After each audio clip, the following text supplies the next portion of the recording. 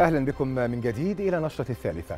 فقدم الرئيس عبد الفتاح السيسي بالتهنئة إلى خادم الحرمين الشريفين الملك سلمان بن عبد العزيز وولي العهد الأمير محمد بن سلمان والشعب السعودي الشقيق وذلك بمناسبة يوم التأسيس. وقال الرئيس السيسي عبر صفحته الشخصية على مواقع التواصل الاجتماعي إن يوم التأسيس يعبر بصدق عن عمق عن العمق التاريخي للمملكة العربية السعودية ومسيرة البناء والتطوير والنهضة التي شهدتها على جميع المستويات في ظل قيادتها الحكيمة.